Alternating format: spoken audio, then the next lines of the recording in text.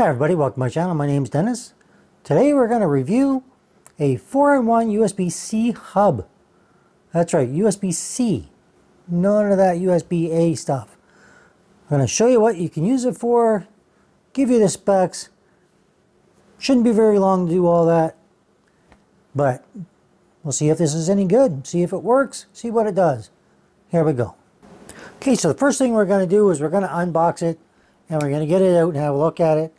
And it's from a company called Minisopuru. Hope I, hopefully I'm pronouncing that right. It's 4-in-1 USB-C hub.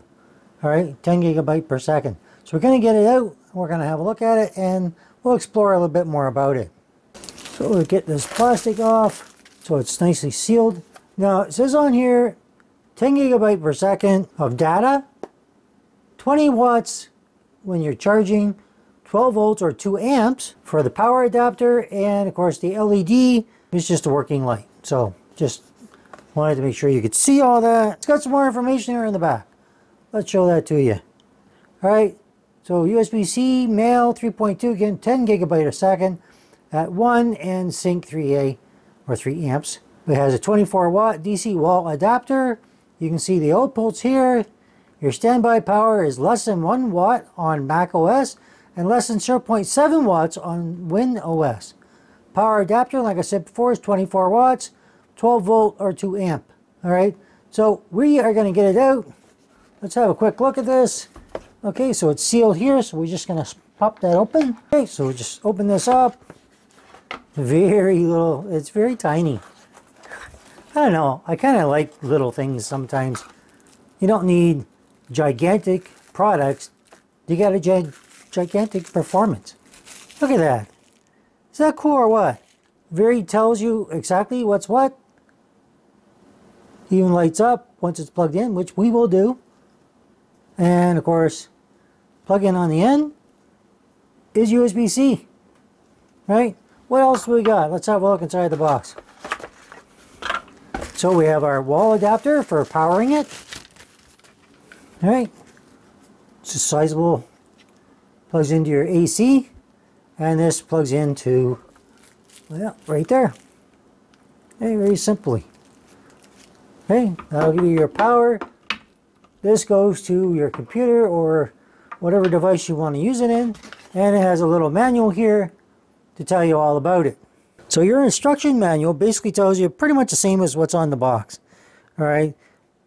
Package contents, of course, is your 4-in-1 USB-C hub, your 24 watt DC wall adapter, of course, the instruction manual, and it has a support number and a website. So if you have any questions or have any issues, contact them first and they will help you out. All right. So USB hub has four super speed USB-C interfaces. All right. So these four here. All right. All four of them. Total length of the wire right here. All right. Is 60 centimeters plus and the diameter is 5 millimeters. Okay, so not only is this a small dock, but it can transfer data and it can charge other devices with 20 watts of power.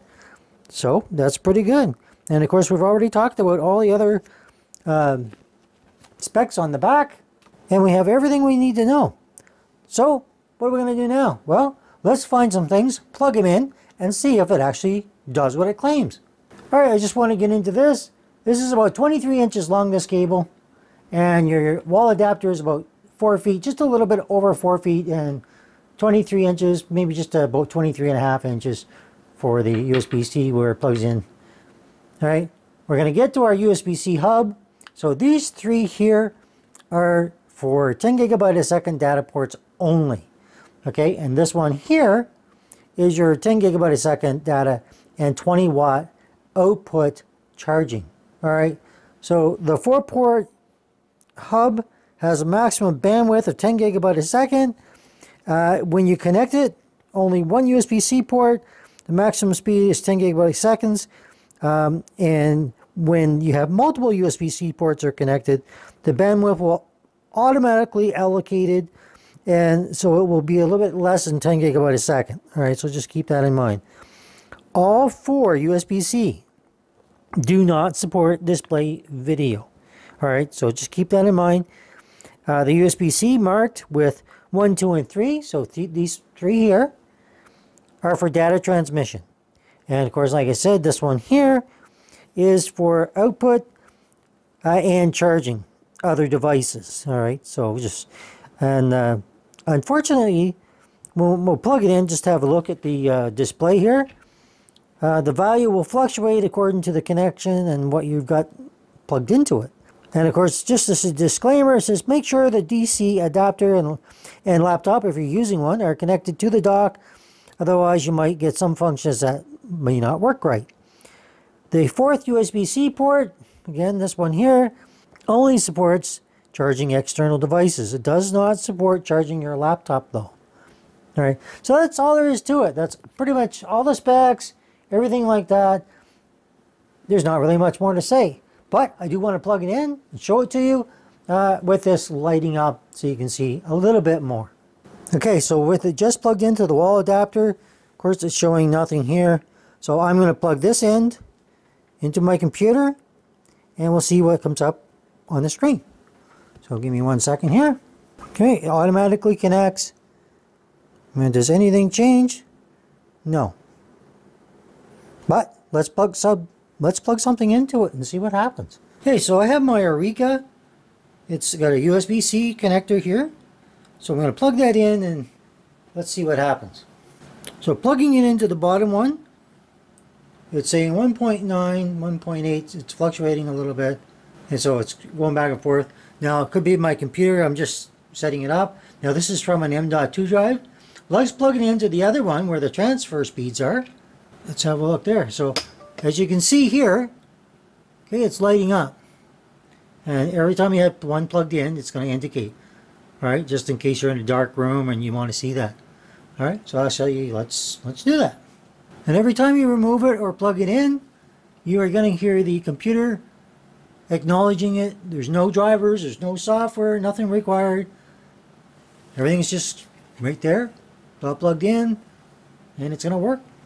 So if I was to transfer now from here, uh, anything on here to my computer, well, let's see what happens.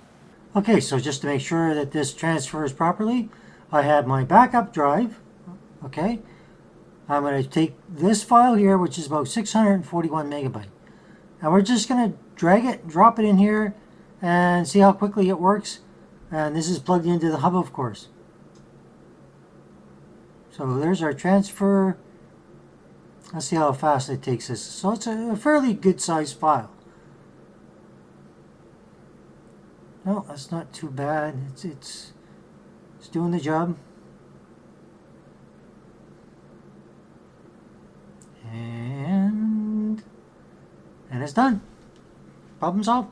So transfer speeds, everything is working.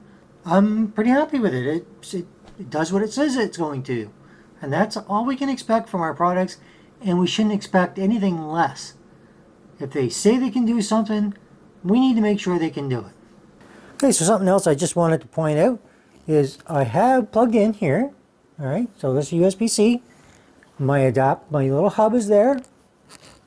All right, I do not have the AC adapter plugged into it for power. All right, if you're just transferring stuff, it's fine. You want to charge anything? Well, then plug in your AC for power so you can make sure you're getting a proper charge. All right, just something to be aware of. All right, so we have a USB-C hub, it can do transfer, and it can charge. I've got it connected here to my computer, plugged into the AC wall adapter, and I did the transfer. Everything is working fine. It's recognized without any software. This will work with Mac, and it's actually one of the highest recommended uh, USB-C hubs for a Mac. All right, so if you need a bunch of stuff plugged in, that's it's saying that's the one to get. So I can't say that that is because I don't have a Mac. But everything else works, why wouldn't it? And of course, I got it running on Windows. It transfers, everything I plugged in, everything is recognized. You know, when you have a little product like that, sometimes you're a little skeptical, but when it works, it works. And I'm very happy with it. I'm always happy with stuff if it works. Not so happy when it doesn't work. Um, so that's the video. With everything going USB-C today, um, this is the kind of stuff we need. We need more USB-C hubs that can do more things. So if you like the video, hit that like.